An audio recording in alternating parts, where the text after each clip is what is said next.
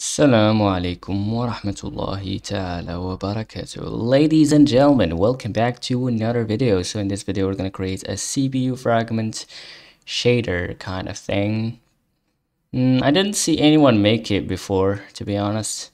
Uh, so I don't know. Uh, well, let's just get started. So I'm to use, of course, CLion with Rust. So yeah, let's create a new project, Rust.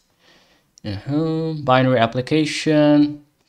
Let's give it a stupid name. CDTK for Codotaku.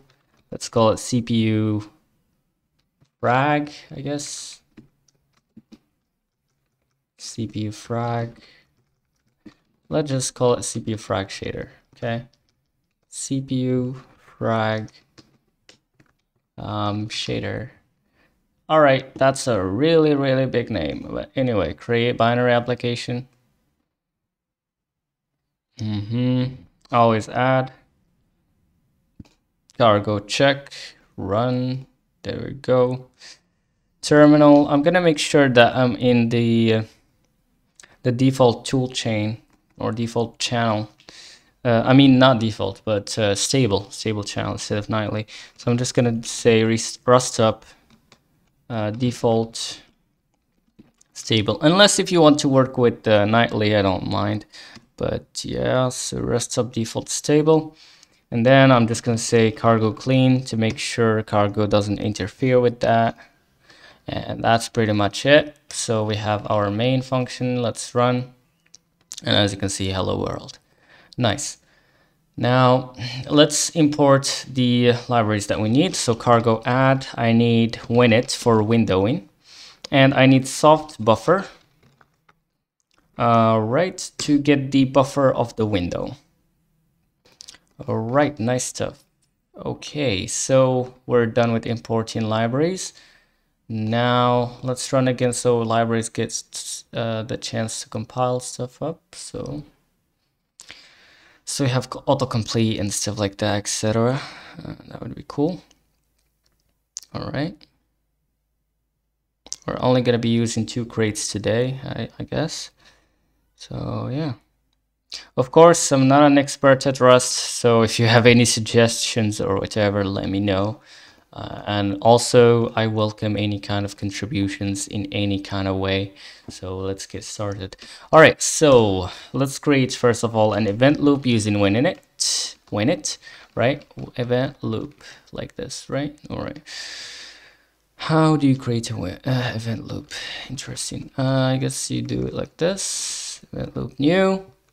There you go. Oh my God, stupid IDE and the microphone is bugging me out but anyways it's uh, make sure to not import this platform specific thing that that's gonna that's not uh, you know multi-plat like it's not gonna work cross-platform right? It's just for Unix X11 you gotta use winit event loop not this okay? So winit event loop event loop there we go.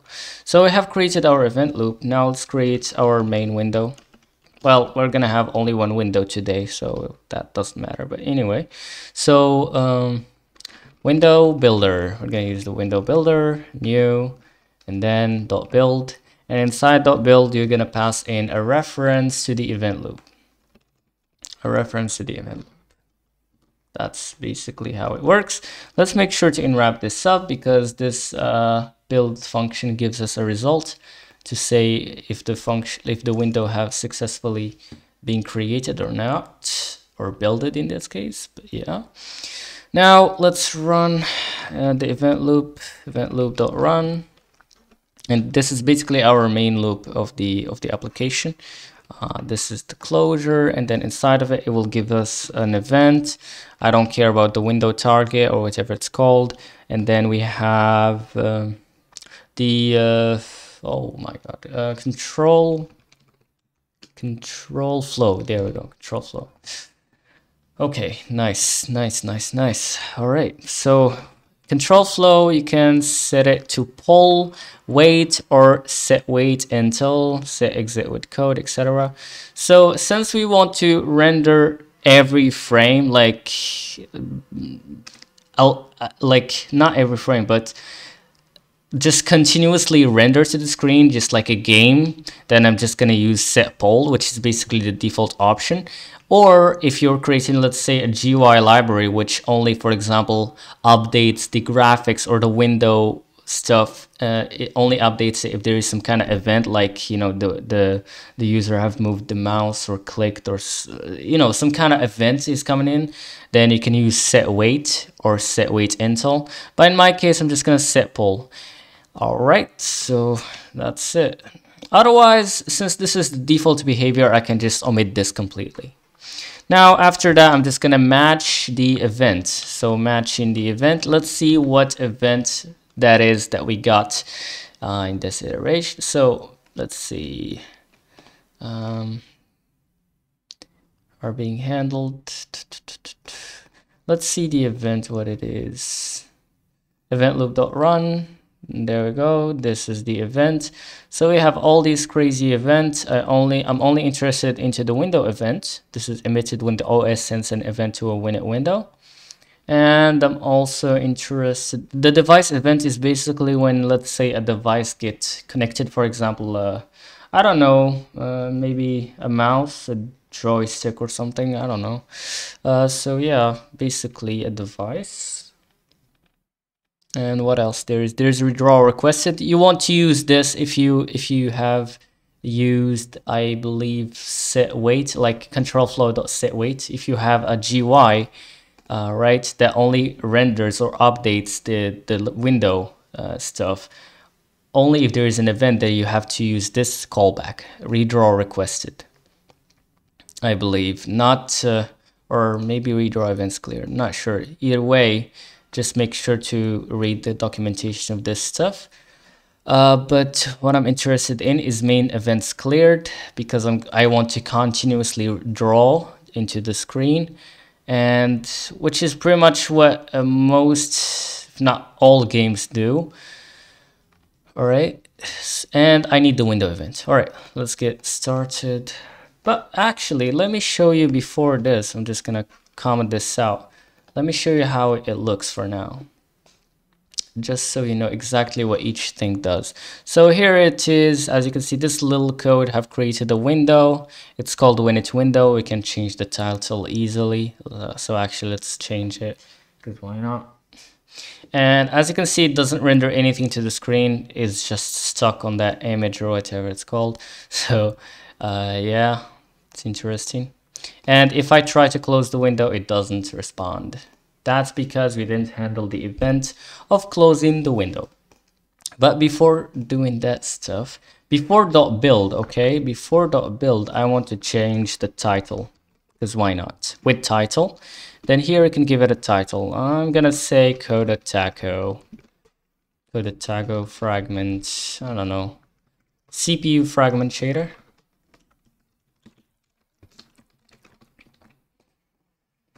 Mm hmm. Okay. So with title Taco CPU loop fragment. Um, anyway, uh, let's run this once again. And you can see Taco CPU fragment shader is in the title. Interesting. We can also set the width and the height because why not?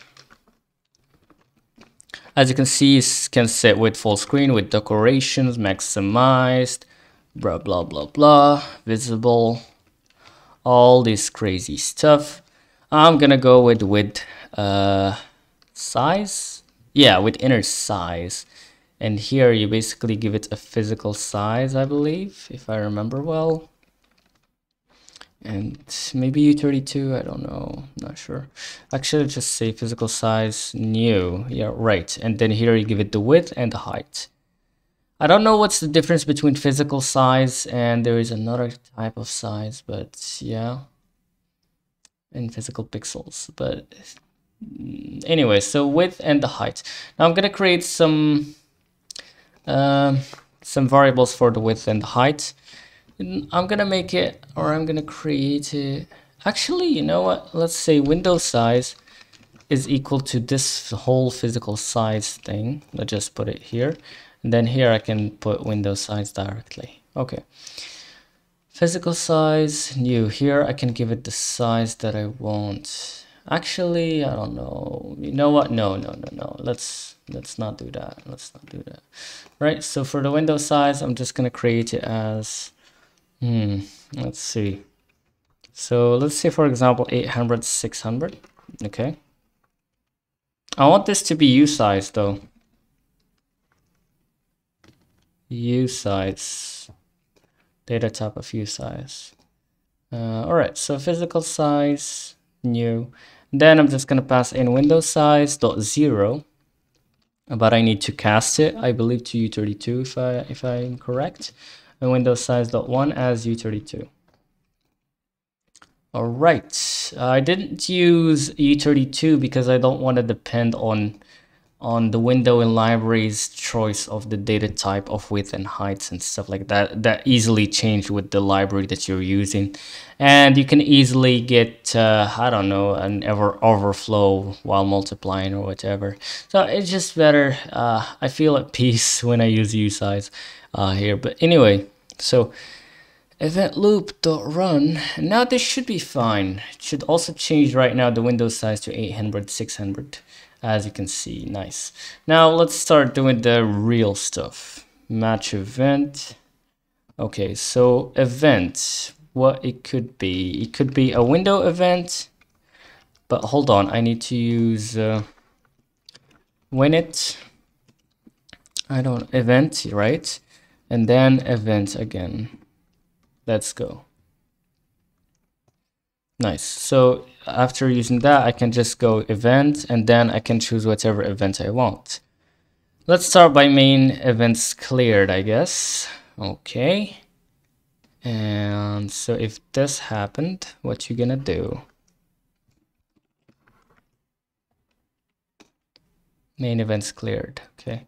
I don't need this guy because it's not a structure, just a simple enum. All right, here we're gonna render our stuff, okay? All right, nice. Now, by the way, there is something non-exhaustive pattern. Oh me, oh my god, come on, bro. Let's add this so it doesn't yell at us. And then I'm gonna add event, window event. There we go. Um, uh, so window event is kind of like an enum struct thing. So it have window ID and event. I'm not interested into window ID, uh, but if you're trying to like create multiple windows and you want to handle multiple windows, then you should care about this. But since I'm only caring about a single window, I'm not caring about that. So I only care about the event, which is a window event. As you can see, it, it can contain resize. I'm interested into resized and close requested. I believe that's it, maybe. Yeah, that's probably the case. If you want to handle keyboard stuff, there we go. Modifiers, I think modifiers is for control and shift and stuff like that, maybe, I don't know. There's cursor moved, cursor entered, cursor left, mouse wheel, there we go. Mouse input, uh, right. All right, touchpad pressure event axis motion, touch, scale factor changed, theme changed, occluded. Anyway, all right, all right, all right. So for the window event, as I said, I only care about uh, the event, basically. There we go. And I don't care about the window ID, so I'm going to put these two dots right there. All right, let's go. So here we're going to match the that event. I'm gonna see what it is. Is it uh hmm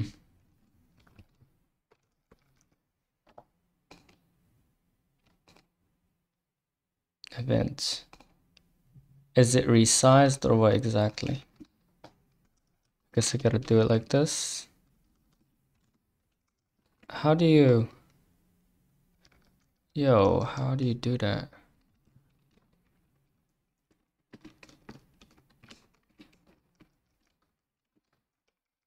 Oh. How do you do that? Window events? There we go, window event and then uh, close requested, right? All right, there we go. As you can see, uh, you have included it there, window event from winit event. All right, so window event close requested. Uh, when the close requested, basically close requested is when you click the, the, the X on the window so you can close it. Right now, currently, since we're not handling close requested, it doesn't do anything when you click the X on the window. Uh, so you have to kill the process if you want to quit. Uh, but right now we're just gonna say if close requested, then go ahead and say control flow uh, dot set exit. I don't know what's wrong with the cargo check. Um, control flow. Huh? Extra field found in struct pattern. Control flow. What are you talking about? That's weird. Comma. If it's anything else, we don't care.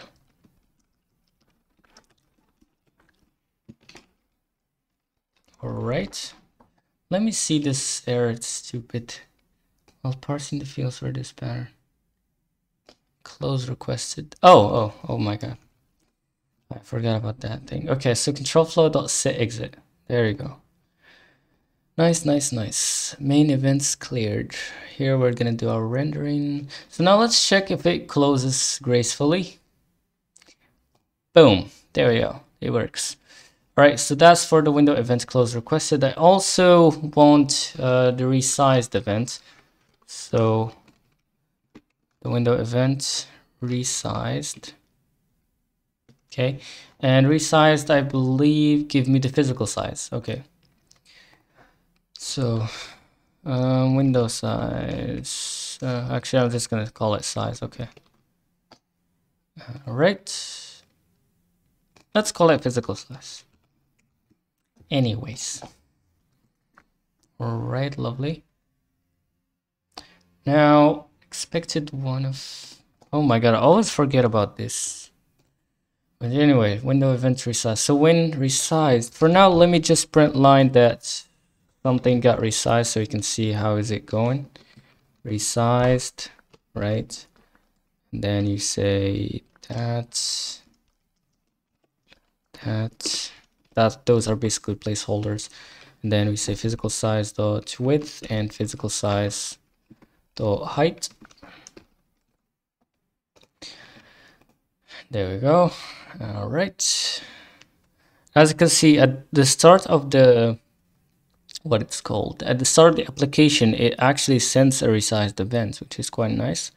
And then when you resize it sends again an event which is lovely all right, lovely, lovely, lovely.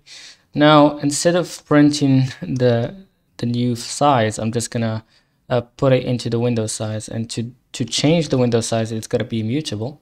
And now I'm just gonna say uh, window size equal to physical size, I guess. Physical size dot into. But the problem is window size and physical size aren't the same thing. So, uh, all right. That means we gotta do it manually. Physical size dot width.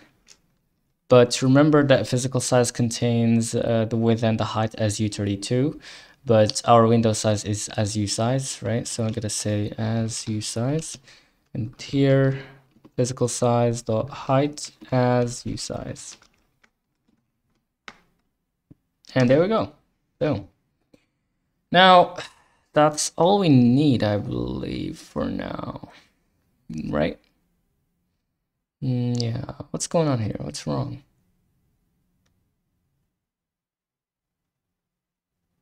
Yeah what what are you talking about? Hold on let me run Oh, oh, you gotta say move here.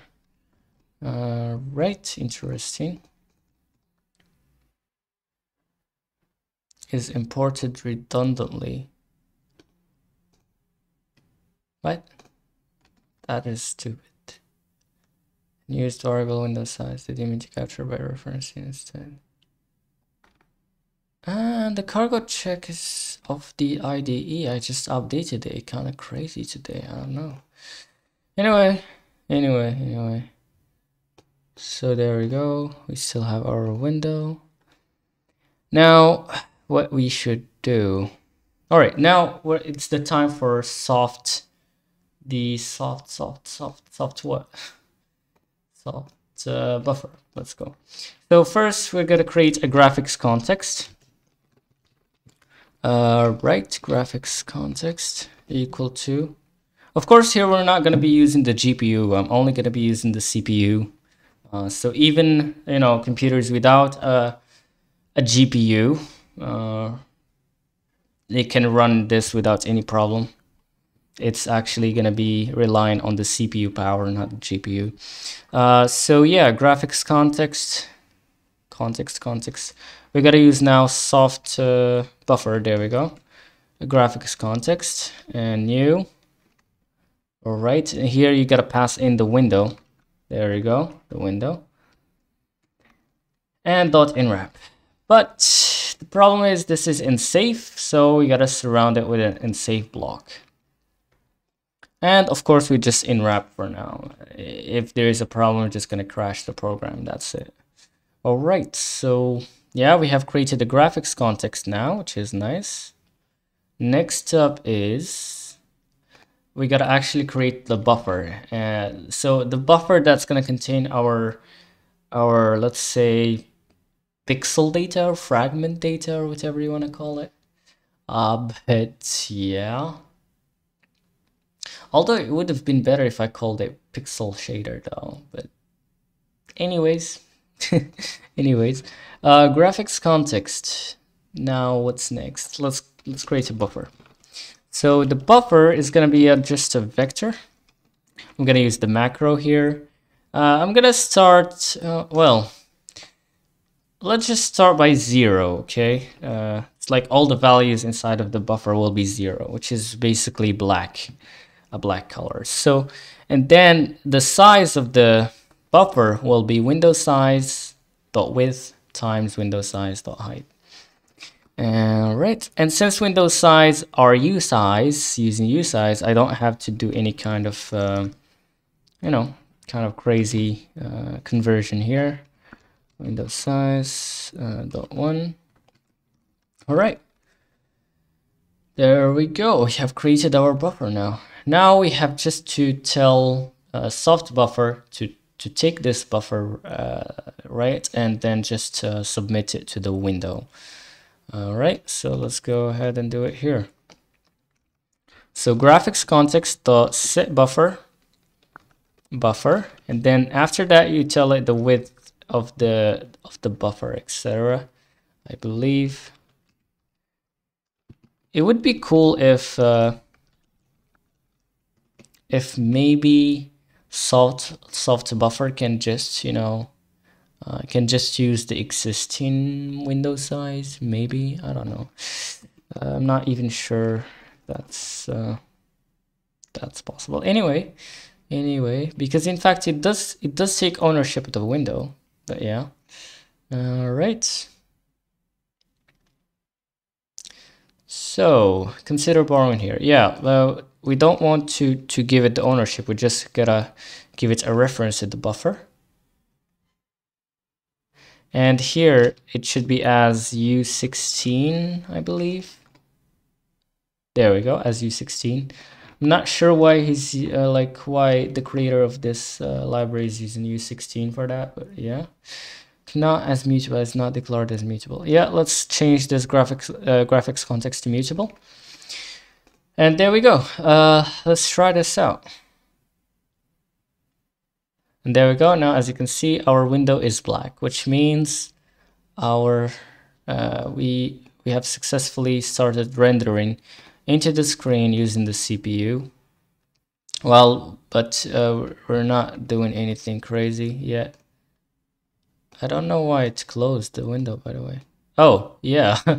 All right. So right now when I resize the window though, what happens is that it crashed the program. The size of the past buffer is not the correct size. It must be exactly width times height. All right. Uh, and that's normal. That's pretty normal. So in resized, hmm, hold on a second. Um,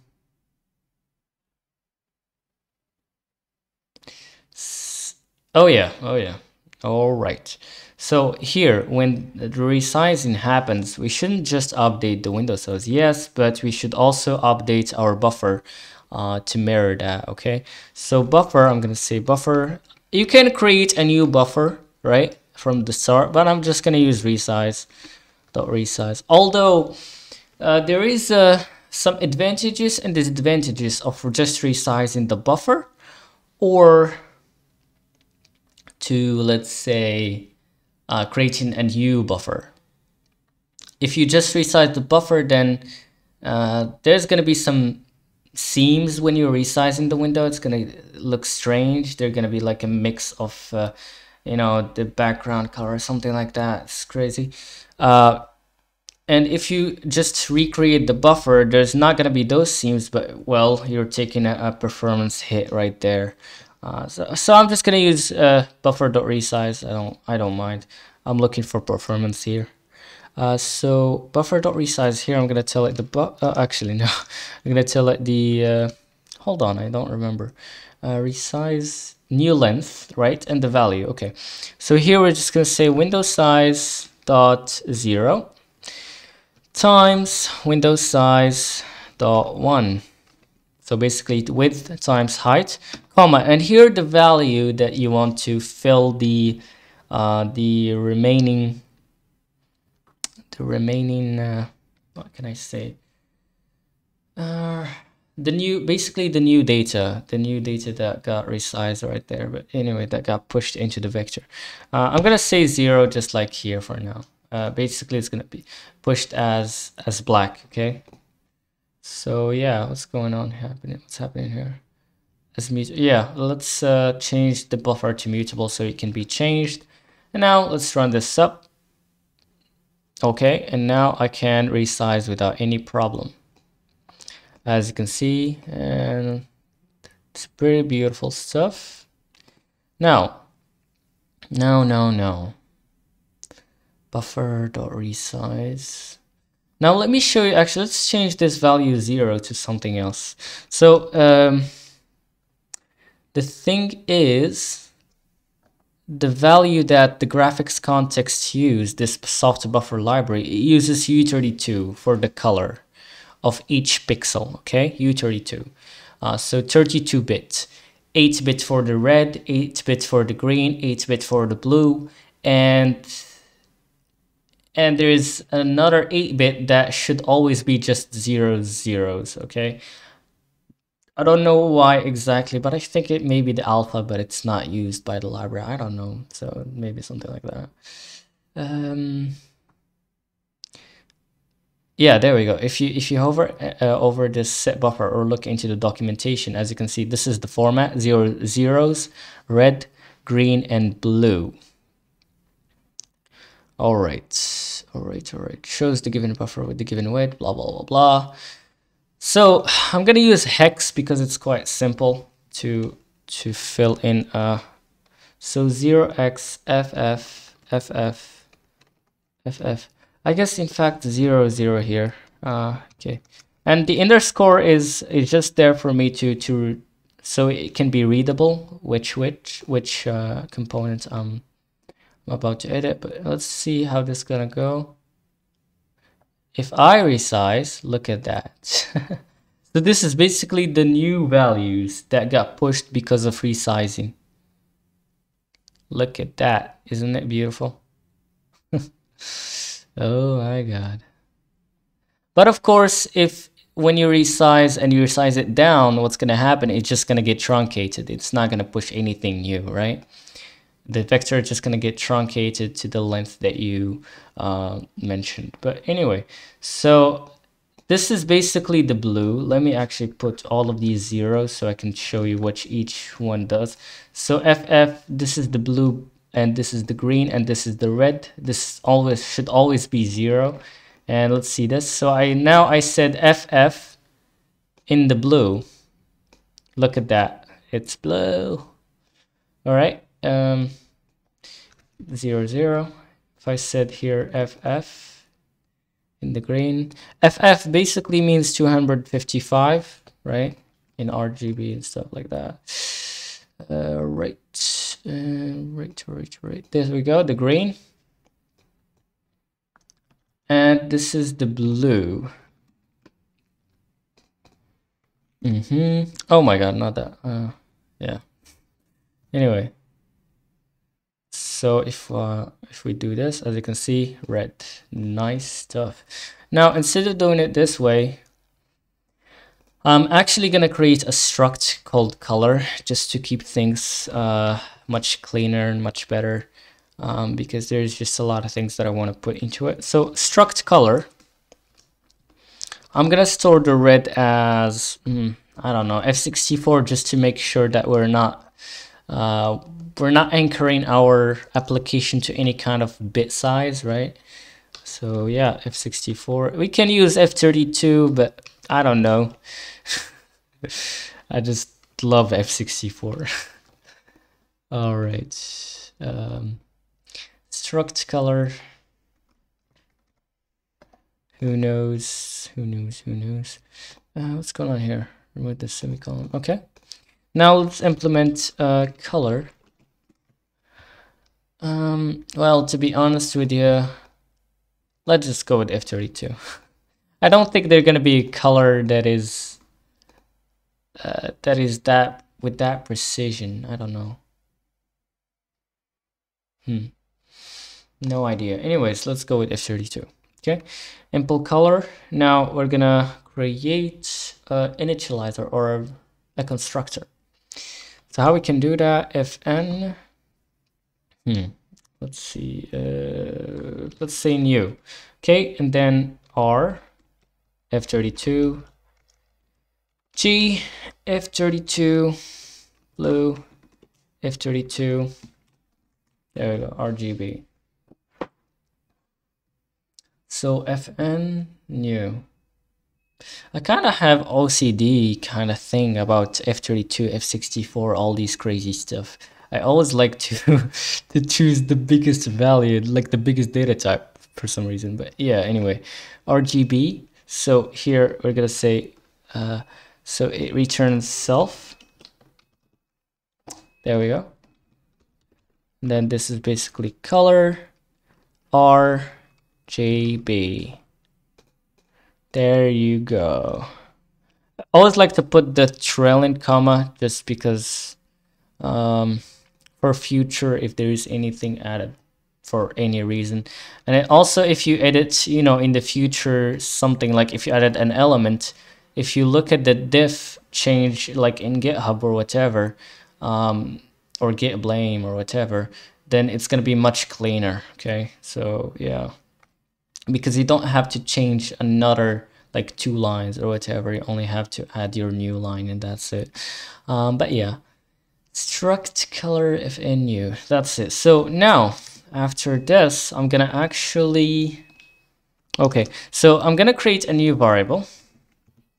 I'm gonna call this background color, okay? So let uh, background color is equal to color um, new. And here uh, I like 0 0.1, 0 0.1, 0 0.1, so 10%, 10%, 10%. Okay, so it's a shade of black. And I'm also gonna say dot into, I believe. Or actually, no, no need, no need. So just background color, okay? And then we gotta pass this background color. I'm gonna pass it instead of zero, I'm gonna pass background color. So basically at the start, when you have an empty window, the there's no rendering yet, the buffer will be uh, initialized to background color. And also when you resize, it's gonna be in uh, it's gonna be in background color until you render once again. But yeah. Um, so background color here. But the problem is the buffer, I don't want it to hold the color structs, okay? I want it to hold U32 values, okay? Uh, that represents the color. So we're gonna say dot into, which basically I, I'm talking, I'm telling, I'm telling Rust to to change the the type of this background color struct to whatever you think should be should be the type, like uh, whatever you infer the type is. In this case, as you can see, it infers U32, so it's going to try to change background color into U32. But if we see here, look at this, the trait bound U32 from color is not satisfied. Basically, it doesn't know how it can turn this background color struct or this color struct to a U32 value, so we got to tell it how to do that. So I'm going to implement uh, the from trait. So from uh, let's see, from color for U32, I believe. And of course, show context action, implement members. I'm going to implement the from member function of the trait. So basically, whenever you try to create a trait from, you need to have this member function called from, okay? Uh, this, uh, the, the parameter is going to be color, and then uh, it's going to be U32 here, self. Self is basically a replacement for U32 here. So yeah, anyway, from. Now let's see how we can do this. So basically you have to turn RGB, which are floats, to a whole U32 bit value that contains all of the that information in one place. So how to do it? All right, so we'll start by the blue because the least significant bits are around here, which are the blue value, which is the blue value. All right, so we gotta start by the blue value. So I'm gonna say self dot, not self, color, color dot blue. Okay, color dot blue. So I'm gonna turn turn it from First of all, actually, it's to be a value between 0 and 1, 0 0.0 and, and 1.0. I'm to do times 255.0. So now it's to be become from 0 0.0 to 255.0, but it's still a float. So I'm going to cast it afterwards to U32. If I did cast it before actually multiplying, what's going to happen is that it's always going to be 0 or potentially 1. So that's not going to be the, thing that we want. Okay. Um, of course, we're going to lose some precision here, but that doesn't matter. Uh, so yeah, color times 200 cannot multiply F32 by, oh yeah, so this should be just like that as U32. In fact, I'm to put this here, I guess. There we go. So it casts this whole thing as U32, not just this value. And then I'm just to say or, or. Uh, what an or does, basically, if you have, so here we're working with bits, okay? We're doing some bits manipulation. Let's say we have some, I don't know, random, random nibble. A nibble is basically four bits. Uh, each zero or, or one is, is a bit, okay? Four bits is a nibble. Eight bits is a byte and it goes on like that. So here I just have a nibble and another nibble. So if you do OR here, this is going to be equal to 1 or 1, true or, or true. True or true is basically true. Uh, 0, 0, 0, 1 or 1. Basically, since they're the same, they're just gonna you're just gonna get this. But let's say something else. I don't know, something like this. Okay, let's see now. 1 or 0? 1. 0 or 1? 1. 1 or 0? 1. 1. Since these are the opposite of each other in some sense, right? So when where 1 is is uh, 0 and where 0 is 1, you get this, okay? Um, but yeah, basically what happens is that okay, let's see so, let's say something like this, okay? Let's say something like this just to show you something. So basically just add these, these bits together and you're gonna get your OR operation there. So here there is a 1, 0, 0, 1. So one from here and one from here and there you go. You get this. There is the also the AND operator which I'm not gonna use here I believe. For this one you're gonna go to each pair of bits and look if look for the AND operator. Okay, so 1 and 0, basically true and false. Of course, 0. Uh, right, and then 0, 0, 0. basically this is all zeros because there's in fact no uh, like there's no shared kind of uh, ones. Like if you want to have one in an and you should have both have a one. I don't know how to explain exactly but i hope that that that makes sense. One 1000 and so let's say for example if you have this then since this is one and this is also one then you get a one here. I hope so we're using this for bit masking. So and operator is used for bit masking. For example um, you can have each bit represent some boolean value. Like this bit represent did I eat today? This bit did I drink today? This bit did I sleep today? Uh, this bit is uh, I might code in Rust today I don't know any any question right is it true or false okay so for example in 4 bits I'm not sure, but I guess you can store four, uh, let's say, four states, okay? So this is the first state, true or false, second, third, fourth, okay? So let's say I want, hmm, let's say I want to know if this bit is true or false. I want to get the value here, okay? So how can I do it? I'm going to say this, okay? actually let's uh, let's say something let's say something let's say one one one okay and let's say I only want this bit right here to survive then I'm just gonna say this okay uh, that means that zeros and ones will give you a zero but this will survive.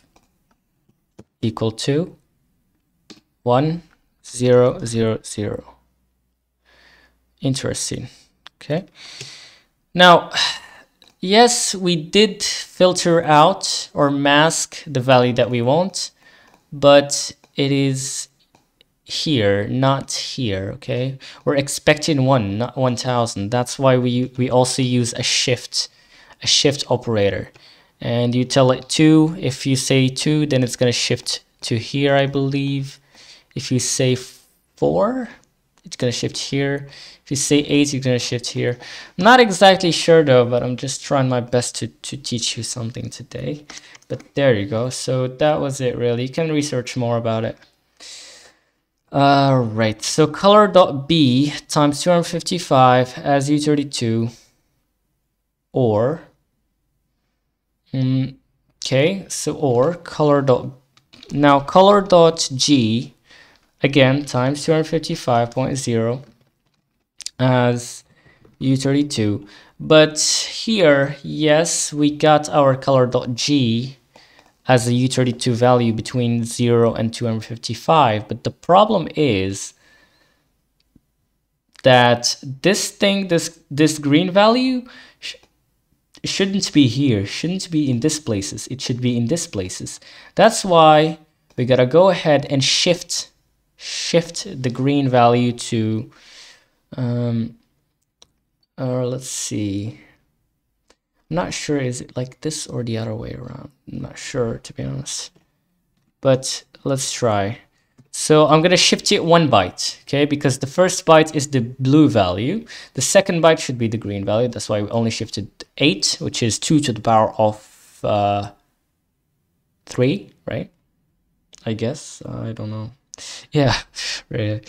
So anyway, or we're basically just gonna copy this and then we're just gonna say blue tier 16 I'm not sure if it should be like this or the other way around so we're gonna check. So 0 0.1 0 0.1 0 0.1 let's run this we got this. Uh, I don't think it's right. I think it's probably like this. Yeah, it makes sense, I believe, maybe. So let's try it out. Oh, and in fact, we need another parentheses. Looks like, I guess. So yeah, let's add that. Parentheses. We don't need it in this one because there's no shift operator. Okay, so if we run this, Now, as you can see right now, we got our, our color. Great, lovely. So let's just make sure that everything is right. 1.0 for the red. Uh, it's not red. Huh. Okay, why that's the oh color dot b here instead uh, this is should be color dot r dot red okay let's see now there you go we got color red as you can see we successfully have transformed RGB components in F32 to a single value U32 using a bit of bit manipulation a bit of bit manipulation right? So yeah green 1.0 0 0.0 hmm. Uh all right zero let's see green two. Okay green there we go. Now let's make sure blue is also working. It takes a while to actually compile it's interesting. And there we go blue. Uh, let's see for example yellow. It's going to be red and green full intensity. 100% both. And 0% for blue. And as you can see we got yellow. Nice. Now let's go back to our little color that we got before and as you can see we have just created this guy right here which is lovely all right and of course make sure to use this dot into so it applies this uh, trait implementation there so it can uh, transform the color struct into U32 Interesting. Now, also here, instead of doing this, I'm going to say background color. This is basically when you resize the, the, the thing, the buffer. So background color dot into, once again, I believe, uh, cannot move out, out of background color. Okay, so uh, basically you should make sure that color is just like, you know, deriving, deriving uh, clone and copy. So it acts just like a number. I don't have to care about its memory stuff. Um, it's like a primitive uh, variable. So yeah, because it's quite cheap to copy all around, so it's not much. Uh, so yeah, now it should work out just fine. Make sure to resize and make sure it's all good. And as you can see, it's all beautiful. Lovely. Now we're all good at this point. I don't know why it's... Hold on a second. What's going on with you? What if I remove this guy? Oh, oh, I see. I see what's going on. But I don't care about it being here.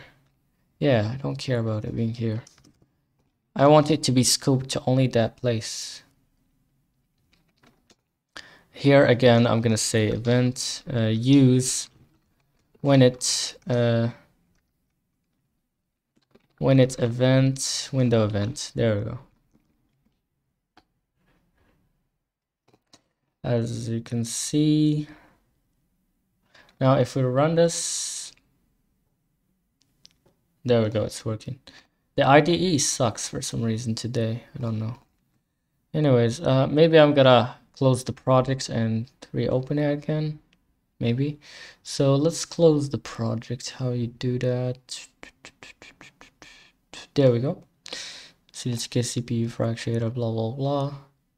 Analyzing code there we go back into normal hopefully all right so now that we got our buffer set right now we just got our basic setup set and ready for actual rendering okay so where should we render? Of course, we should render before we set the buffer in the graphics context. All right, nice. So main events cleared. So here's the here's the plan. We're gonna go through every every pixel in the buffer, and we're gonna gonna color it something. Okay, so let's go ahead and do that. Buffer dot Hmm. Iter mute dot for each. So for each uh, pixel or color or whatever you want to call it. I'm going to call it pixel because why not? Okay, and we're gonna dereference because that's a mutable reference. We're gonna dereference so we can set the actual value, not the reference. Uh, the refer the actual reference is actually immutable, but the actual value is uh, is mutable. So pixel equal to here I can set it to some kind of color. And there we go. We're gonna we're gonna use our beautiful struct that we have just made. We don't have to do any kind of crazy conversion. Um, let's say, for example, for now 1.0, 1.0, just to check if this is all working out. And we're gonna make sure to say dot into. So it takes this color struct and turn it into 30 U32 value. Run this. Now as you can see, it's all white, which means it's working. While this is nice, uh, but we need the x and the y value here, okay? So let's calculate the x and the y value. How we can calculate it? Well, we do have the window size, um, but we don't have the pixel index, so I'm gonna say dot iter mute dot enumerate. And that means instead of one variable called pixel, we're gonna have a tuple here. Um, and we're gonna have pixel index here. There we go. It's going to be u size. Interesting. Now, in fact, I can go to red, for example, and I can say, for example, I don't know, pixel index, let's say, divided by buffer dot length. Let's just, you know, try it out. Let's see how that would go. Pixel index slash expected F32 found size. What do you mean? Uh, oh, as F32. Does that make sense? Help the trait cannot divide U size by F32. Oh yeah, because uh, you gotta actually cast this whole thing, not just that. There we go.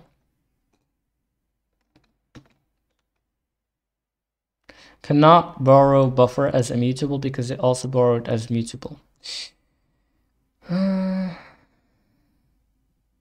Should I put this buffer length somewhere else, maybe? So maybe I should take the, the length before actually entering that thing. So len equal to this. Yeah, there we go. That's fixed the issue. All right. Now let's run this thing and let's see what's going to happen there. Uh, weird. Okay. Where we were at pixel index divided by len. So let's say zero for the green and the blue. So we're only left with the red. Okay we got just darkness. Weird. Um all right gotcha. Maybe let's actually try to to uh, convert them both because probably we're losing a lot of precision there. Uh, so yeah, let's run. And there we go. Lovely. Lovely. Iter mute, the enumerate. So as you can see, basically here is the index, pix the pixel index zero, and here is one, right? So it goes on, it keeps on increasing keeps on increasing, increasing, increasing, increasing, right? Uh, uh, if you can notice, this is the kind of like, but hold on, it's kind of crazy. Uh, uh, so yeah, anyways, so lovely, lovely, lovely, lovely. The problem with this is that it can be really, really slow since it's a single buffer, like uh, we have no multi-threading here. But before we do any multi-threading, actually, let me add some basic kind of benchmark. It's not really benchmarking, but uh, in some sense, just so we know how much frames we're calculating. So yeah, let's go ahead and do that. So how to do that? Basically, in main events cleared, we're gonna say let t equal to std time instant Time instant is not too precise, but it, it should be fine for my use case, I believe. So instant now, basically here I'm recording this instant. And after we have done all these crazy operations, like basically updating the whole buffer, right? And then setting the buffer, etc., etc. We're just gonna say print line FPS. FPS is basically t dot elapsed, how much time have been, you know, is done, right? And then I'm gonna say as f seconds f64, and then I'm gonna say 1.0 divided by that time. Because in fact, let me first of all, let me just show you this. This is basically how much, in fact, you can just do this, right?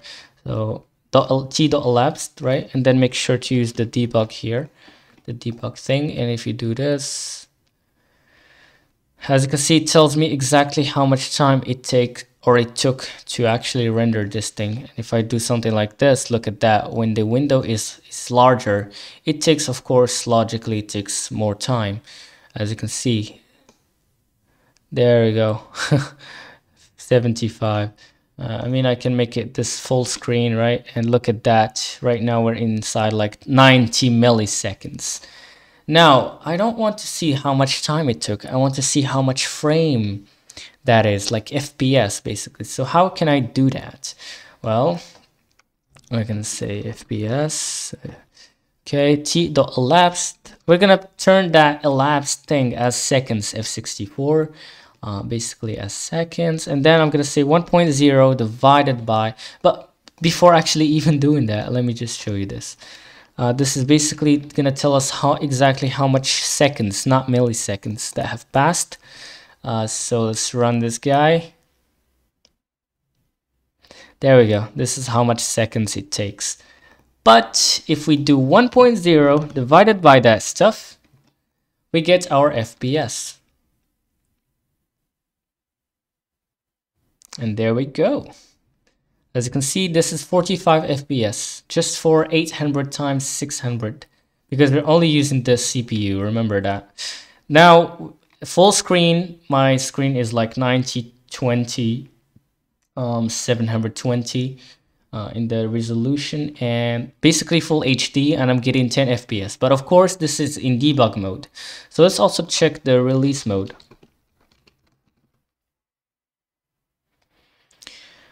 cargo R release. Let's go.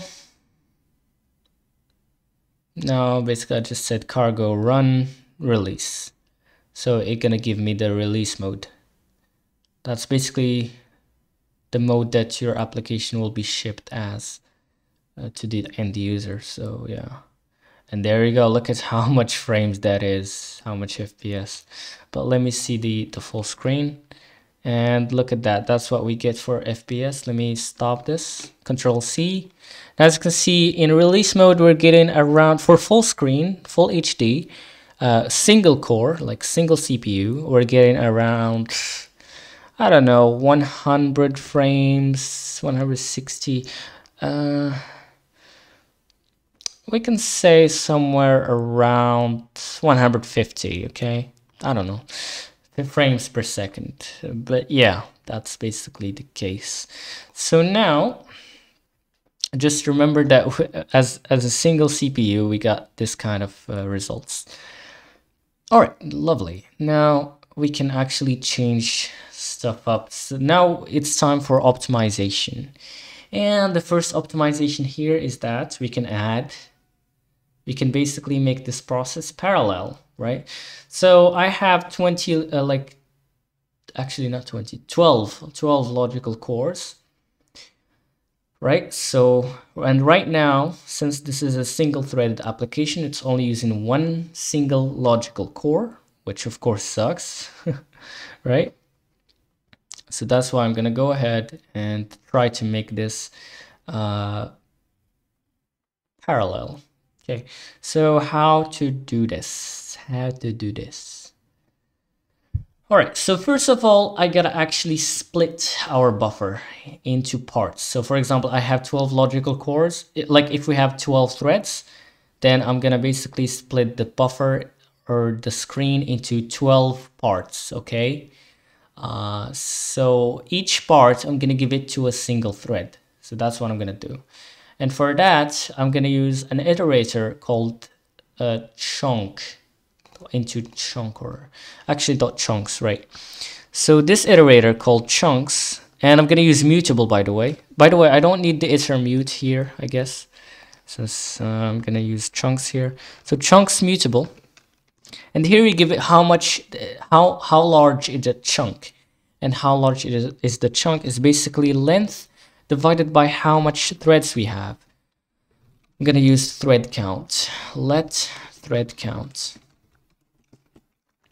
Um, let me just hard code it for now. I know that I have 12 logical cores, but I'm going to show you soon how we can actually get it as an actual number. So yeah, so length, so basically the length of how, like basically how much pixels or colors we have in the buffer divided or the window divided by how much threads we have. So that's that's basically the chunk size. We can even put it inside uh, its own variable because why not? Chunk size. Okay, equal to this stuff. All right, so yeah, chunk size dot enumerate for each. So what's the problem here, by the way? Oh yeah, so right now it's no longer a pixel, this one. It's, as you can see, it's not just a mutable reference to a U32, but right now it's actually mutable reference to a slice, a mutable slice of U32s. That means that here we're not being passed a pixel, but actually the chunk of pixels, like a group of pixels. The size of that group is basically, um, at maximum, it's going to be chunk size. Okay, so yeah, pixel. Now, instead of pixel, I'm going to say chunk here because that's going to be the chunk, not the pixel. And here, we're going to get the chunk index. We're going to need the chunk index later on. You're gonna see soon why, but yeah, to calculate some stuff. Well, in fact, to be honest with you, you know what? Before actually doing this stuff, really, I'm gonna, I want to show you before this crazy stuff. I want to show you some more math about uh, how we calculate something. Uh, all right, sure, sure, sure. Uh, so here I'm just back to where I was before so I can show you something. Okay, so here, basically we gotta actually calculate the x, uh, the x coordinates of the of the color, or like the pixel, and the y coordinates in the in the window, right? So we know the the width of the window, and we know the height of the window, and we know which index is the pixel, so we can use that to to calculate that. So yeah, uh, let x, but we're gonna start by px. px is basically, well, the, well, I'm not gonna call it px. I'm gonna call it absolute x, okay? Absolute x. That's basically the absolute value, the absolute x value of the of the pixel. Uh, so it's going to be basically uh, between 0 and the width of the window. So how we can do this? I'm gonna say pixel index, right? I'm gonna say modulo, modulo, uh, let's see, width, the width. So where's the width? The window size dot zero. There we go. All right, lovely. Now I can also grab the y, but for the y, I'm not gonna use the modulo. I'm gonna use divided by. And there we go. So why I used modulo and divided by? So basically when you say modulo, it gives you the remainder of the division, okay? Um, and when you say divided by, well, it gives you the actual division. And since these these guys are usize, it's gonna it's gonna give me a usize, you know, not a float. It's not gonna contain the the the comma. Anything after the comma is gonna be thrown away. So yeah, uh, anyway anyway anyway anyway. So instead of doing this crazy stuff here we're gonna say absolute x uh, in the red for example so I can show you stuff up. Absolute x. Uh -huh. and I'm gonna turn it into a float as f32 slash here I'm gonna say width uh, of course the window size dot width width is is the zeroth component okay in the tuple and cannot divide F32 by usize. Mm -hmm.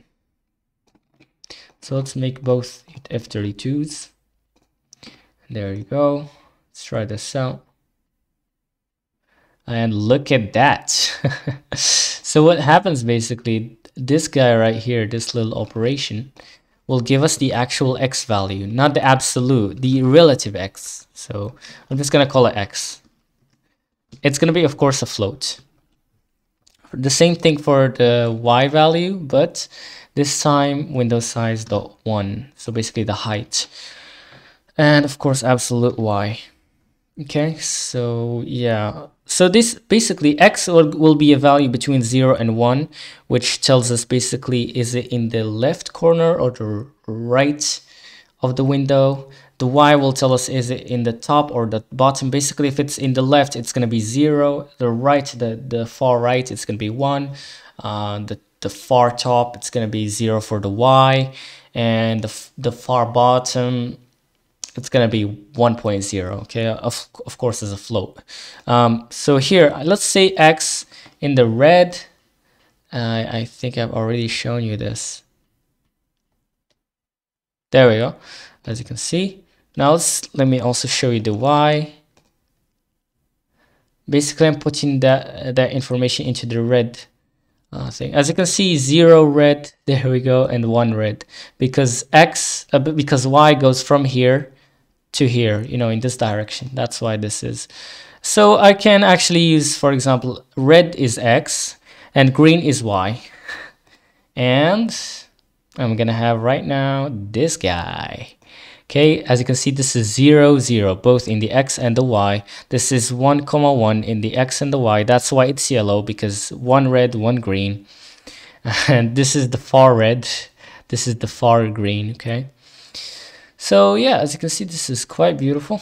And there we go. This is full screen.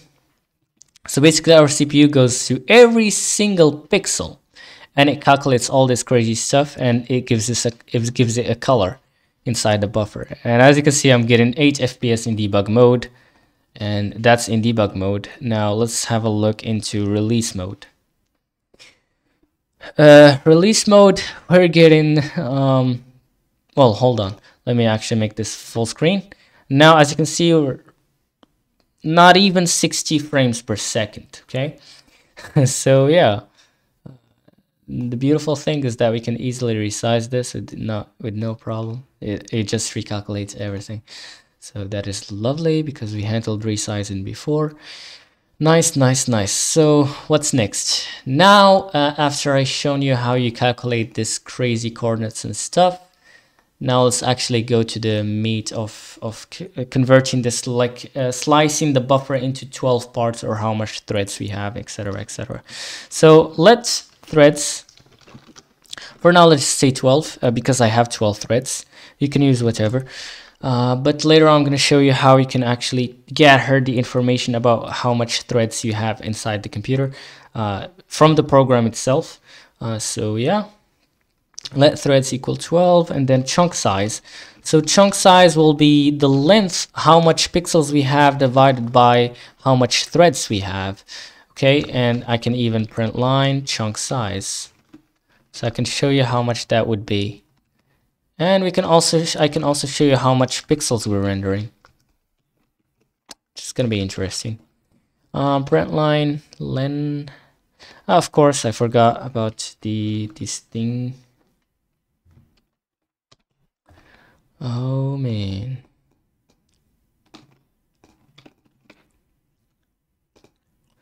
So let's run this.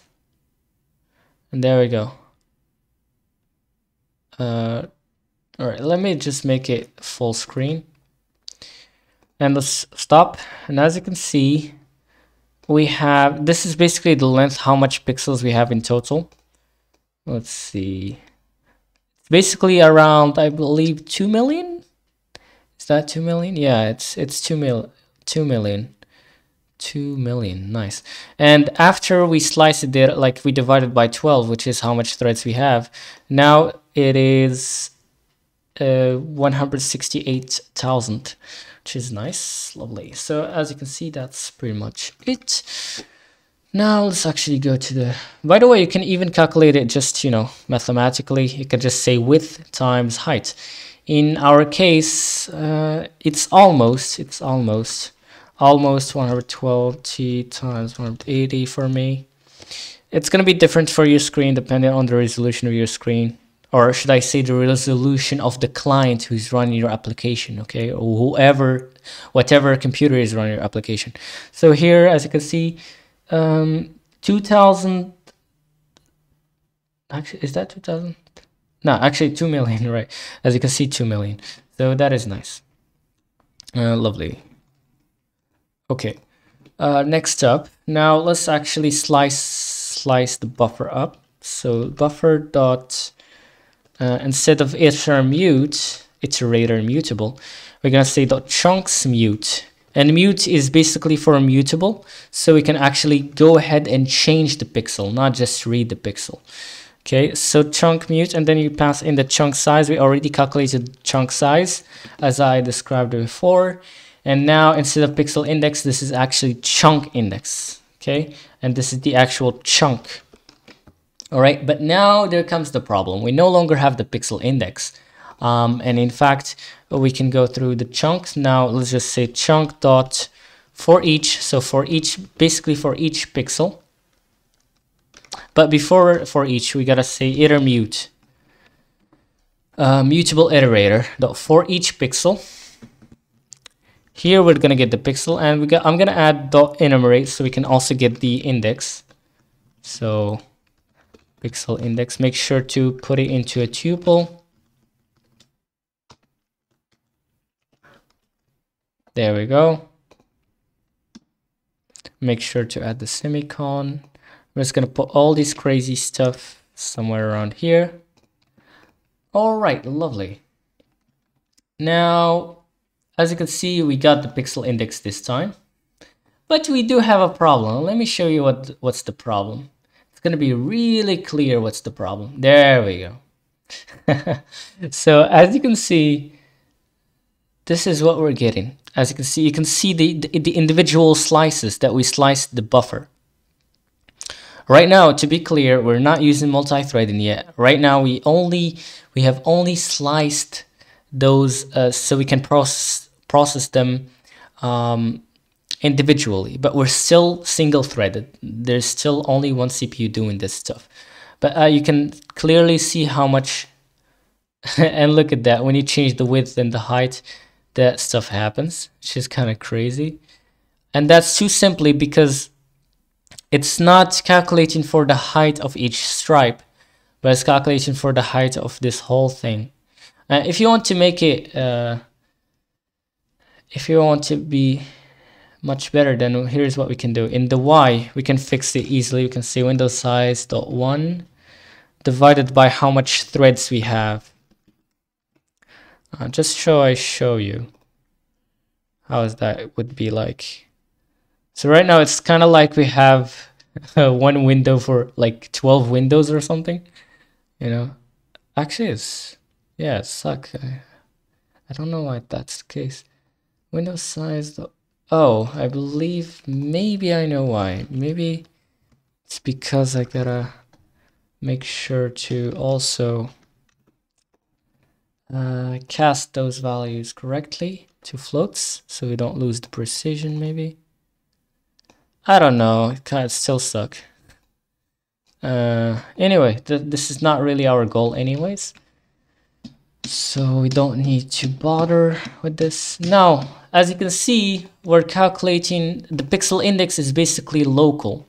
So uh, it's local to each to each chunk, right? It's not it's not global or local to the window, right? So it's not from the window, it's it's in the chunk itself.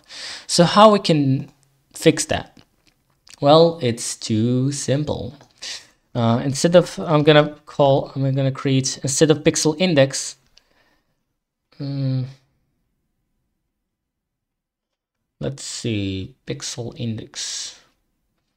We're gonna call it global. Let's call it global pixel index or I don't know what, but anyway, or maybe window pixel index. Uh, let's go with window. All right, fine. So how we can do uh, how we can do that? So I'm gonna say pixel index, but I'm gonna say plus chunk index, but not chunk index only, but chunk index times chunk size. So we can actually offset it to the right value, to the right global context kind of thing. So now instead of using pixel index in our calculations, we have to use that guy. All right, now let's try once again, uh, run. Huh. Oh, weird stuff. It still still suck. I don't know. Absolute X. So pixel index.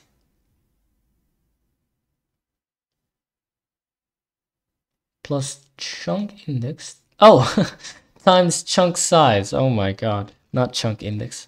I probably have done have done it wrong, you know, before too. But anyway, this should work hopefully. There we go. Now we have fixed that problem of coordinates, local and global coordinates, or window coordinates and slice coordinates. But eh, yeah, whatever you wanna, whatever you wanna call it. Okay.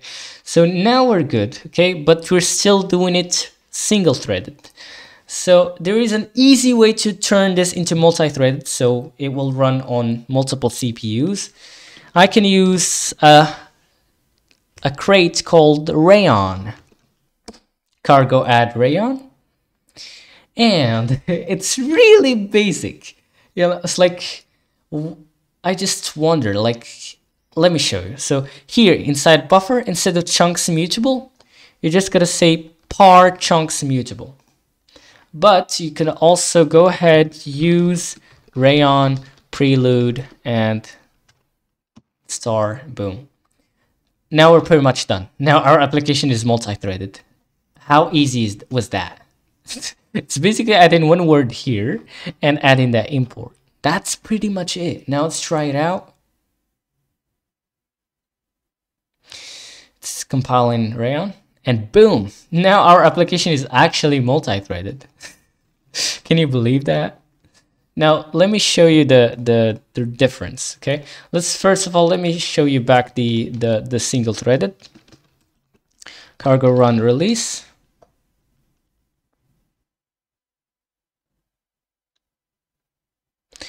All right, uh, let's make it full screen and let's stop. So we're not even getting to 60 FPS with full screen. But now let's try par chunks mutable. so now multi-threaded using Rayon. Uh, there we go. Look at how much frames we get. We're getting right now. Oh, oh crap. Oh, oh, forgot. Uh, gotta make it full screen. All right. So full screen, multi-threaded, and I have 12 threads. I'm getting around 200 FPS. which is really lovely. Sometimes even around 250, 70, mm, something like that. Yeah, look at that because we I have the 12 logical cores, uh, like 12 logical, yeah, 12 logical cores. Uh, okay, so now instead of 12, I'm gonna actually, uh, I'm gonna show you how you can actually grab the actual, how much available threads in the in the system or the machine basically. So std thread and you're gonna say available parallelism. Okay, and then here you're just gonna say the unwrap and then dot into into so it turns that uh, that thing I don't know what it's called yeah it's called non-zero usize. it's gonna turn it into usize when you say dot into I believe no, it doesn't. So let's just annotate this as usize. And it should do it. Okay. And now it's just gonna do that for me. It's not hard coded anymore, 12. So if you have, for example, if you're if someone is running your program and have six logical cores, that's what it will do. uh, of course, it's it's not always to be precise. It's to depend on the platform and all sorts of crazy stuff. And if uh, and by the way, uh, instead of dot in fact, I'm gonna say dot unwrap or because in fact right now this available parallelism function can even um, fail if let's say the the uh, let's say if your uh, if our application doesn't have the permission to get such information then this gonna fail too. Uh, which kind of suck right? So um all right let's try to like fall back to some kind of count of threads if it fails basically so unwrap or or default hmm. Mm -mm -mm unwrap or default. Mm.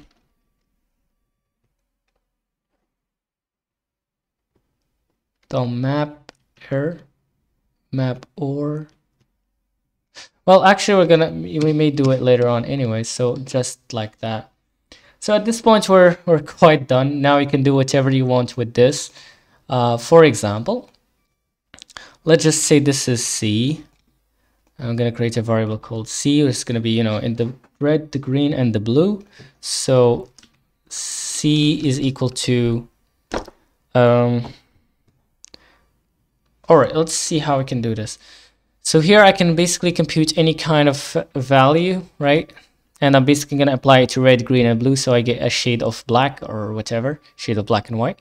Uh, so C equal to, hmm, Let's say, for example, x, just so I can show you real quick, real, real, real, quick. As you can see, this is what we got. Nice. So I can, for example, say x plus y, cargo r release.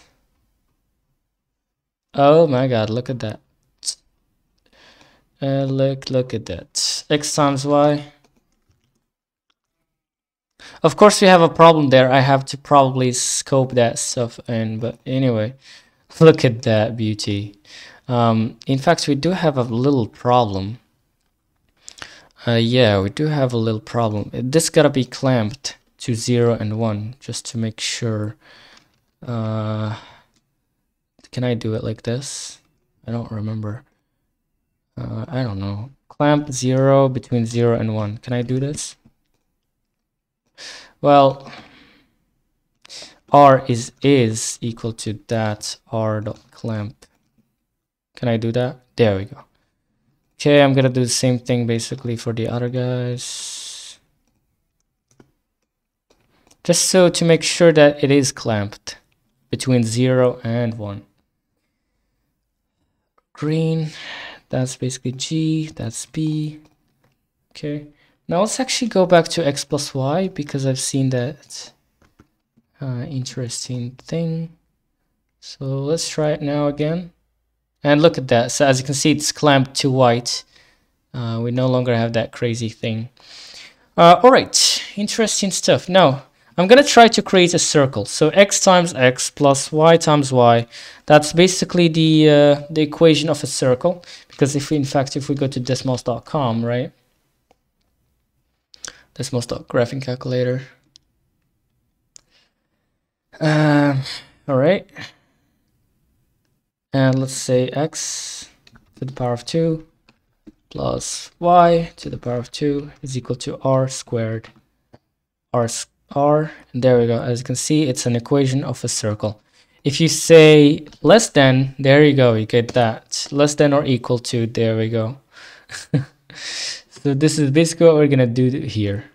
So x x times x plus y times y. Um, so in fact, I'm gonna say c uh, dot c equal to zero, right? It's gonna be mutable value. Now after that, I can just say if if x times x plus y times y, and I can of course do sqrt because in fact if you want to to get the the radius right if you want to get the radius from that equation it's going to be r equal to sqrt of x to the power of 2 plus y to the power 2. Basically Pythagorean theorem, I guess, but yeah. So that's what we can do, dot sqrt. And then you can say is greater than, or let's say less than r, radius, right? Um, and if that's the case, do we I have a variable called i of r? Oh, oh yeah, I forgot. Okay, there we go. So we don't have a variable called r, so let's create a constant called r. Let's r is equal to let's say 0. Point, uh, I don't know 25 okay less than r so if if this value or basically this is kind of like the distance um, of xy if it's less than r then we're going to say c is equal to 1.0 basically white so let's run this and boom look at that we have a circle although it's a distorted circle since because of the aspect ratio we can calculate later on the aspect ratio, but for now, just I'm just gonna make it a square. Okay. Uh, I'm probably gonna do a follow-up video. So yeah, but the problem it's right here, and why it's right here because it's the in origin, right? Because the origin zero zero is right around here. So how can I translate this circle?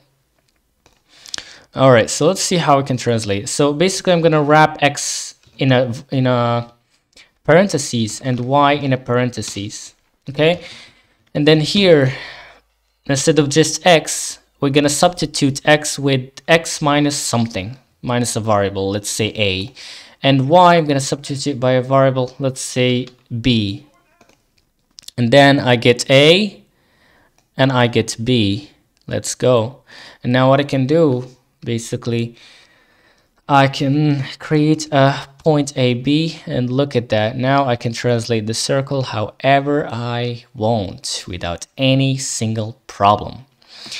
so let's do that here. Let's do that here. So now instead of just uh, doing crazy stuff, I'm just gonna make uh, x and y mutable then I'm just going to say x minus equal to 0 0.5. Why 0 0.5? Because in fact, the wind our window is basically from 0 to, to 1, okay? From 0 to 1. And that's why I'm just going to, you know, uh, subtract 0 0.5. Uh, so it goes to the center of the window. All right, so x minus equals 0 0.5, and of course y minus equals 0 0.5. So to center it in both axes, uh, xy there we go cargo r release there we go we have a little circle and its radius 0.25 because in fact 0.5 will take the whole screen and let's take the whole screen because why not 0.5 cargo release there you go look at that and it's actually being being rendered in the CPU and using multi-threading using Rayon. Look at that beauty. All right, amazing. All right, lovely. So now instead of doing this SQRT, which is quite an expensive operation, since we're just comparing, we're not interested into the actual distance, here's what we can do. We can just say r times r, basically r to the power of 2, right? So because uh, we already have the target r, okay? So yeah, and it's basically the same thing, but it's more optimized. There we go. Boom, boom, boom. As you can see, it's so beautiful. So, so beautiful. We can even have animations. And how we can have animations? Well, there is a lot of things that we can do, but uh, my time is limited. Uh, I'm probably gonna make part two soon uh, for this because there is a lot to do more than just this. But here I'm just saying start. This is basically the instance uh, when before actually going inside the event loop. Okay, basically at the start of the application. And after that, I'm gonna say let t.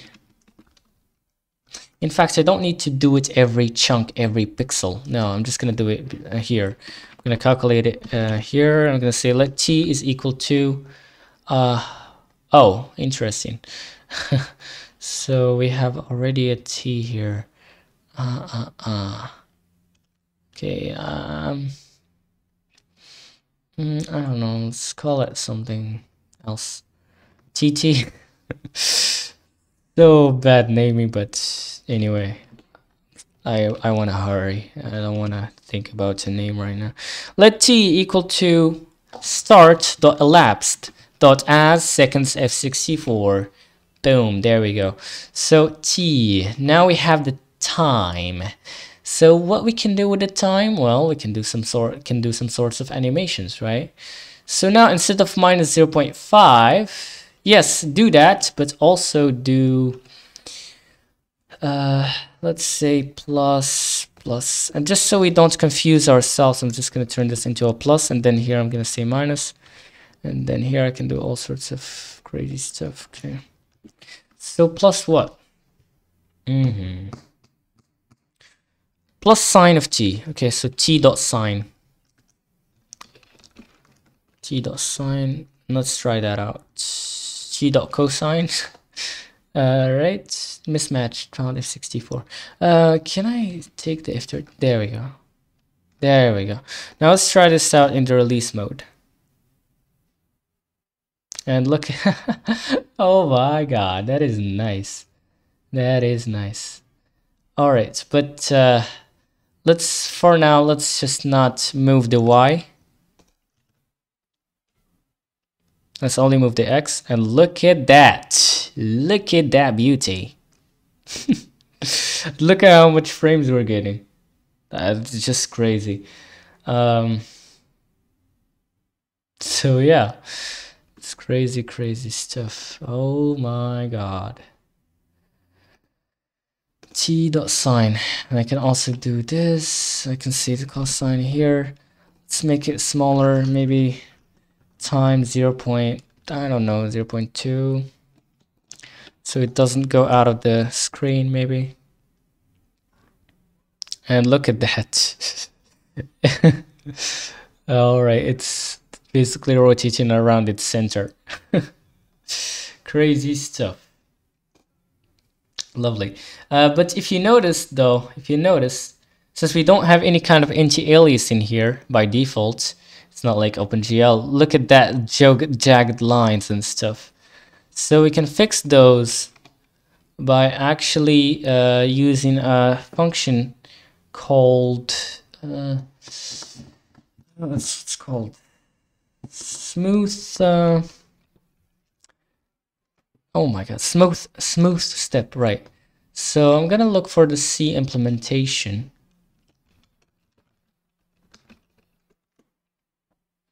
Mm-hmm. There we go. Here's an answer here. Okay, so it takes edge 0, edge 1, x, and it basically clamps them up and evaluate the polynomial. Alright, but I'm gonna be back in a second. Uh, I'm gonna be back in a second. Hold on a second. I'm gonna. All right, back. Got a little break, and now we're ready to go back into work.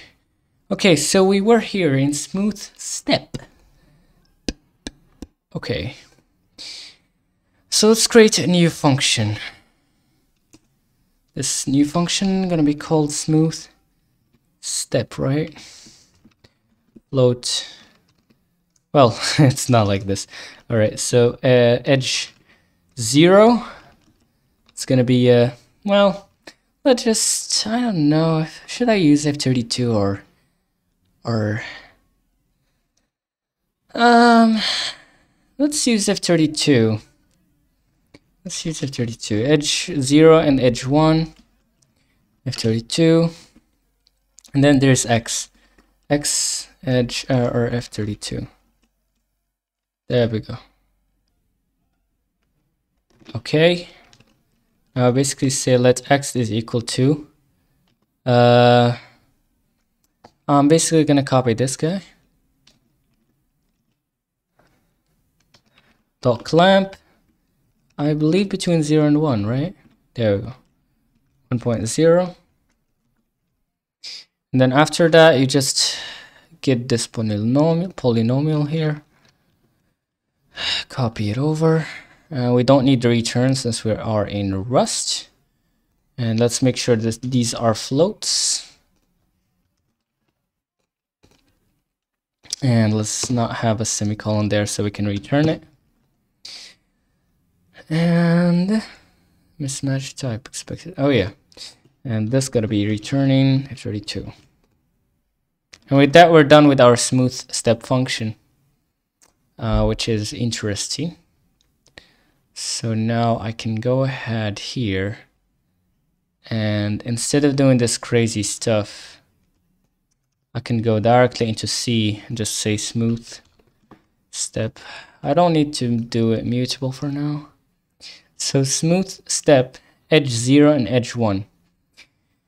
Alright, so 0 0.5, let's say, uh, actually let's, let's, let's get this R value here.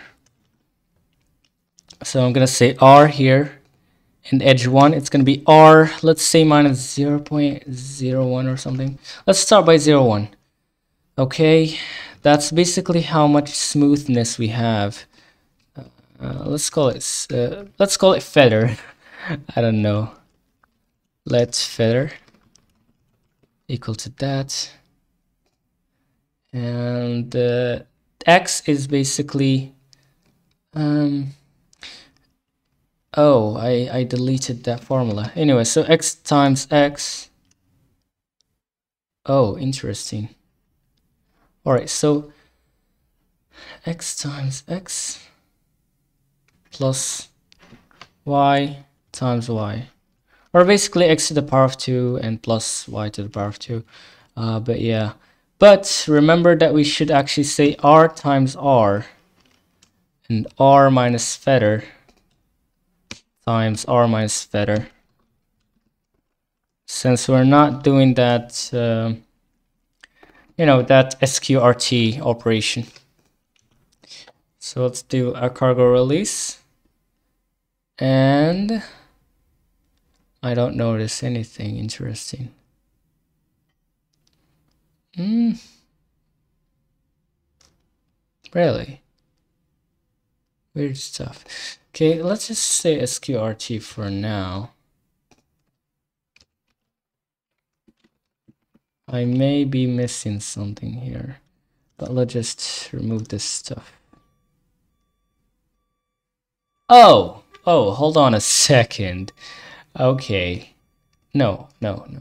Just go back, go back, go back, go back, go back, go back. Anyway, let's see how we can do this first.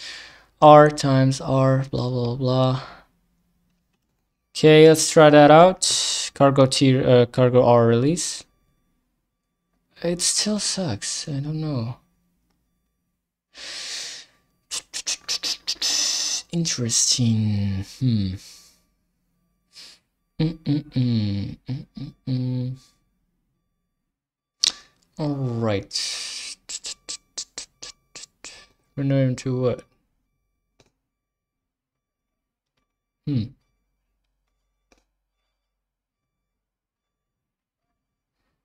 I don't know. Can we? Maybe let's not have this stuff this animation so I can see clearly what's going on exactly. Because this sucks. Alright, let's let me actually go crazy with the feather. I don't know. I don't know. Because it doesn't seem like it's doing anything.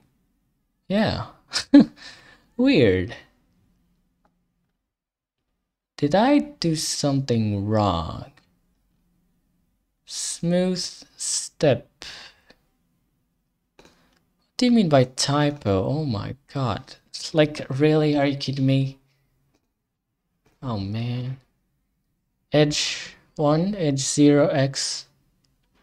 Clamp.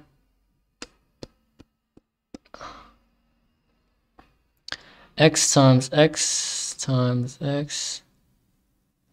but what? How? What's happening here? Um. Hmm.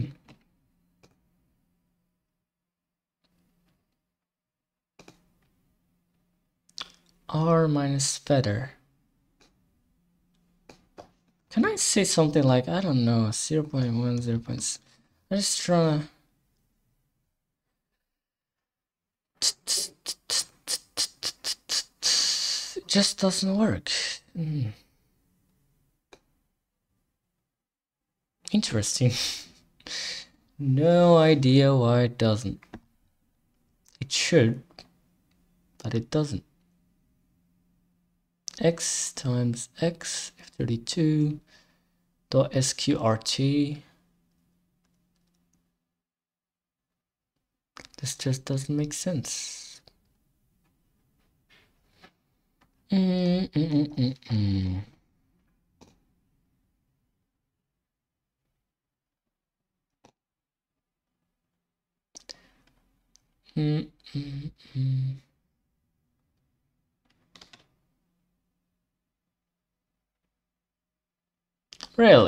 I don't know.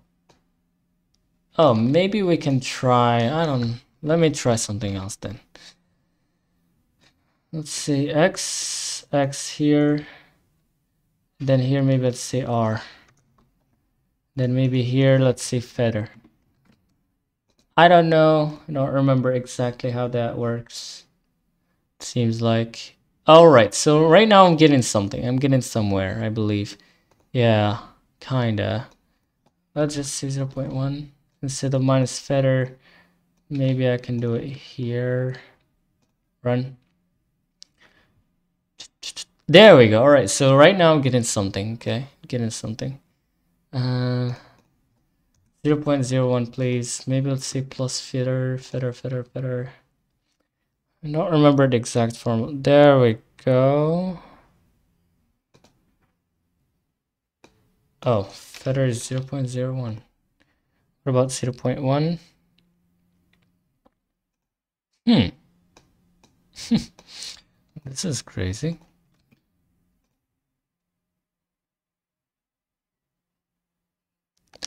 Something is terribly wrong. Did I copy like a wrong function or something?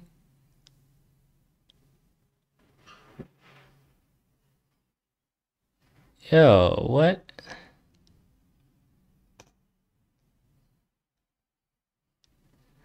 Smooth step.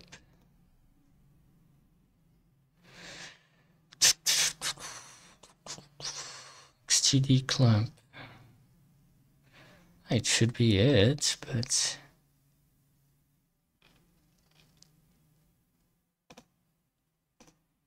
Mm, mm, mm. Mm, mm, mm, mm, mm.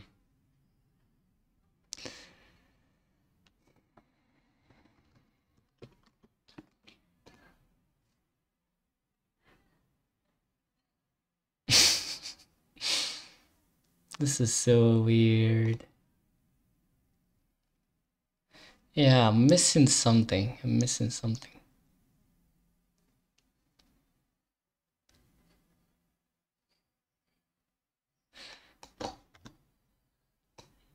Something is truly weird there.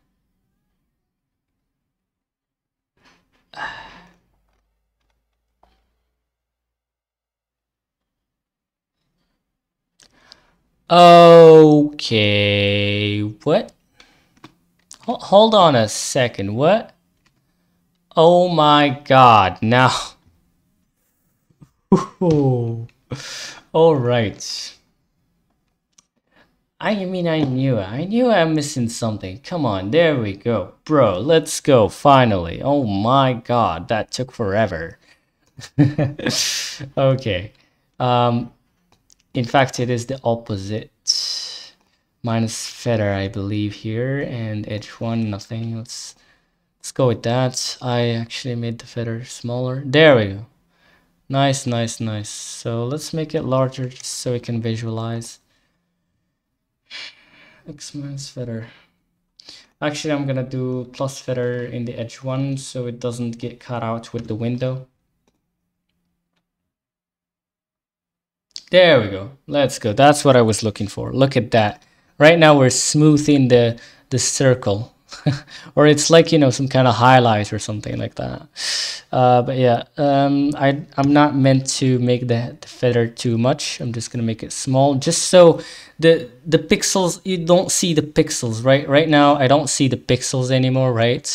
I can clearly see uh, the stuff like that. So it is quite amazing. And still, look at that. We're still getting uh, 100 FPS in uh, debug mode. Uh, in in real, I'm not sure if it's debug release though. Not, I don't actually look at that. Release mode is too much. Like a lot of frames right there. Oh my god.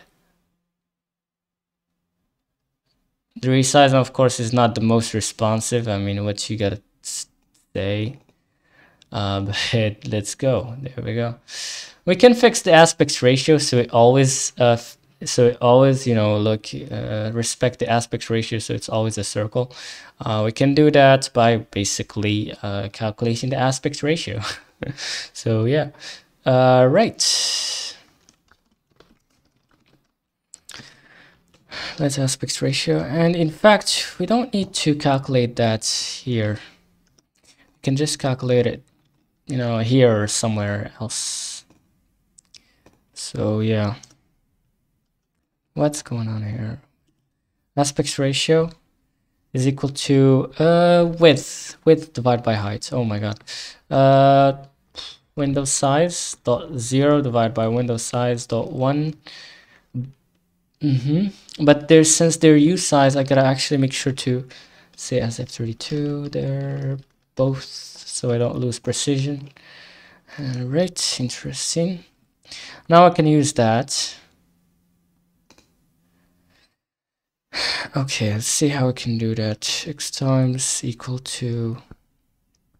I'm not sure if it should be y or x, let's try. y equal to aspect ratio? Or maybe x? I don't remember. Anyway, let's, let's we're gonna see kind of a visual person. All right. okay, looks like that's not the case. So maybe y equal aspect rate. Oh, uh, not that way. Oh my god. Um, so x not equal but times equal. That's what I meant. Mm-hmm.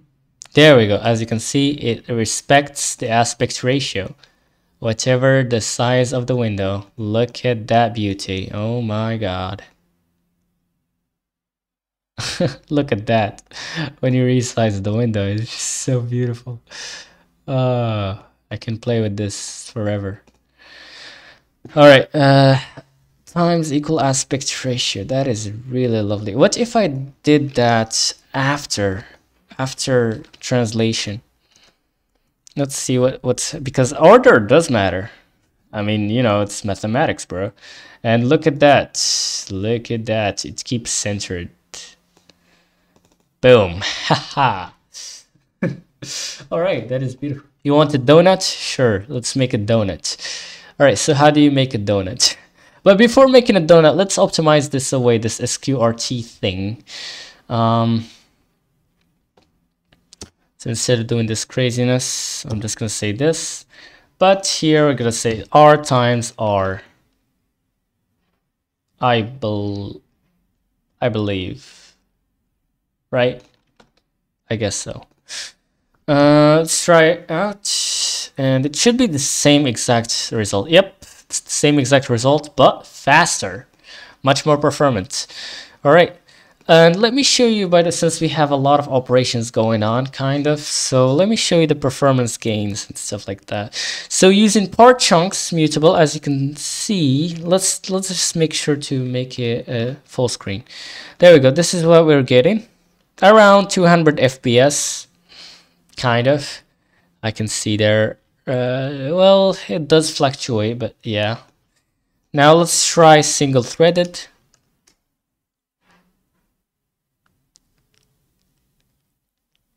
Yo, what? Oh, let's go. And there we go. Single threaded gets us around 30 FPS. So compare 200 with 30 FPS. And of course, I have 12, uh, uh, you know, logical cores. It depends on your CPU. If your CPU is much better than mine, like have more cores than mine, then you're gonna have much bigger difference than me. Okay, much better uh, gains than me.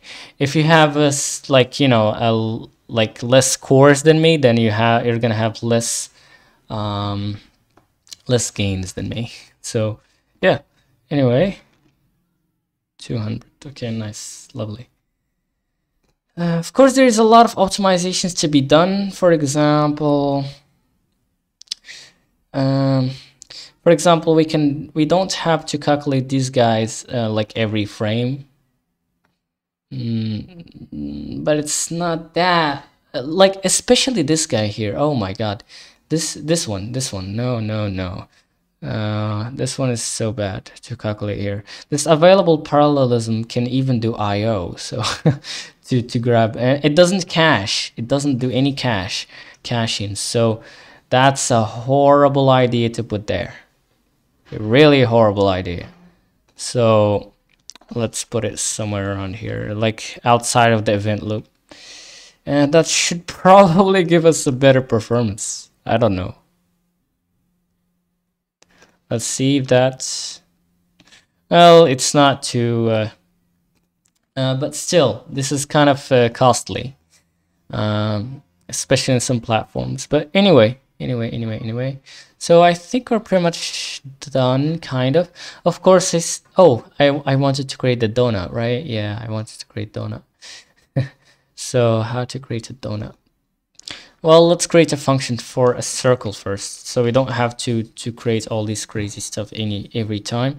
So circle. Uh, let's see, not edge. Uh, inner radius uh, well, not inner, radius, just radius. And then what we need to. That's pretty much what we need, I guess. Maybe, maybe, maybe, maybe, maybe, maybe, maybe. so yeah. All right, smooth step. I'm just gonna take this smooth step function thing and we're gonna put it here. That's basically what we need to render a circle in the in there. Change return type there we go 32 uh, and of course there's also a feather. And there's also the x oh my god the actual mm-hmm. But we also need the x and the y. That's crazy. Um, the x is f32 I believe the y is f32 the radius is f32 I guess. Feather is also f32 so yeah. R. Instead of r right now it's called radius.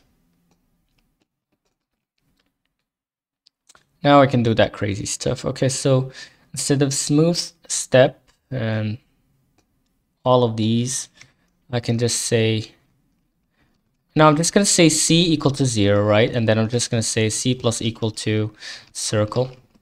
Um, and here I'm going to make this mutable. c plus equals circle.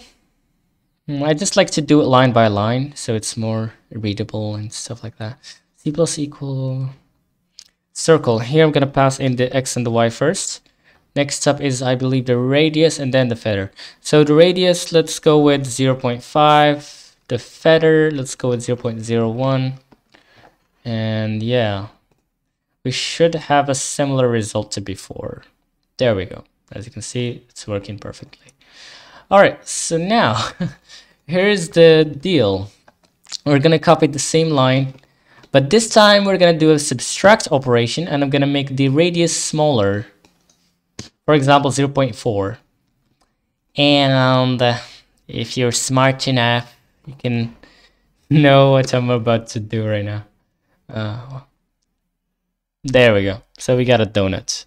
Uh, well, that's a that's a uh, that's a weak donut. Let's say something around. I don't know what's the the ratio of a donut. Let's say 0 0.2. Okay, I don't know exactly what's the ratio. I don't eat the donuts, so yeah, there we go.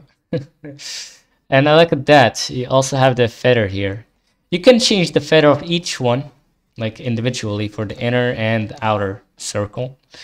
So basically what I'm doing here, oh, look at that. Look at that. Zero five.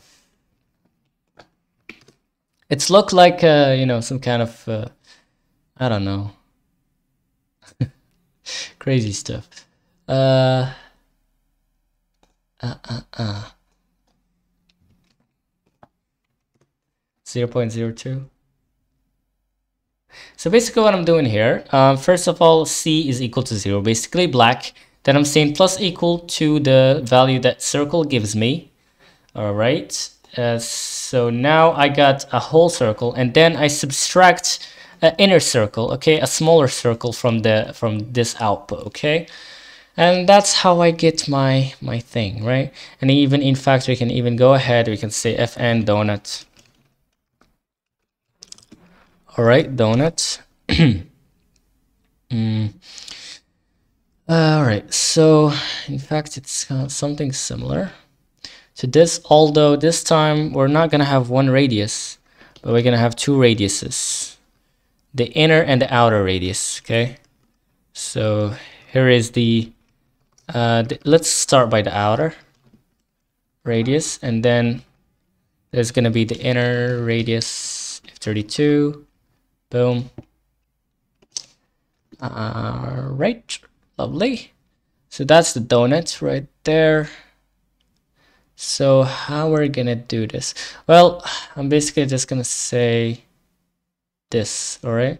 So circle, yeah. So donut is basically circle, xy, outer radius, uh, feather, minus circle xy inner radius feather.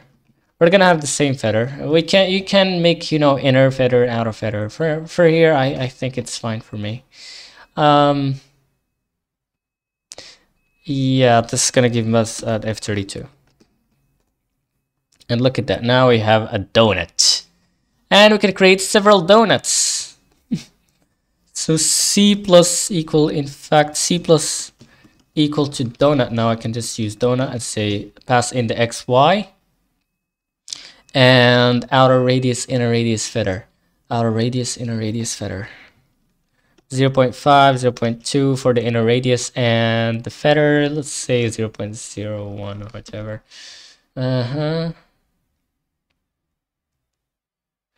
Now I can actually, let's say add more donuts, because why not? But x, let's translate x a bit. Let's say, for example, maybe 0 0.1. I don't know. Uh, uh, right. Maybe 0 0.5. So basically blend in because, you know, it's the same kind of uh, size or whatever. We can say even a smaller inner radius. Why not? 0 0.4 look at that. Crazy stuff. You can you can actually go ahead and zoom out the whole canvas just by multiplying.